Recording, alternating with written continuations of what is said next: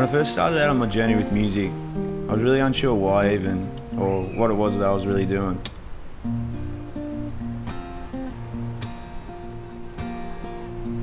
I think unintentionally I was trying to make my life more simple through doing things that I like doing um, instead of chasing a life with a big paycheck or a life that people had always told me is right and accepted.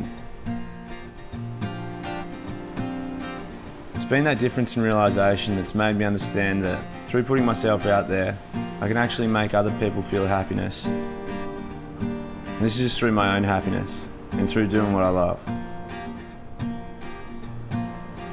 I really believe happiness is just a mindset though. Regardless of who you are or what you do, it's the ability to wake up in a state of self acceptance and just be happy with what you got. It's aiming to be better and better every day and to only ever beat yourself, despite what anyone else is doing around you.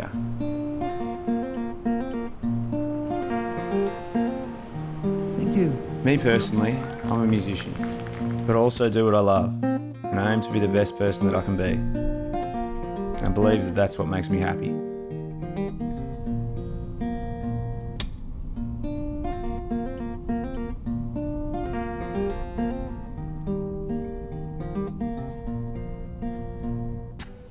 Thanks, guys. Have a good one. My name's Gaudion. Um, yeah, have a ripper weekend.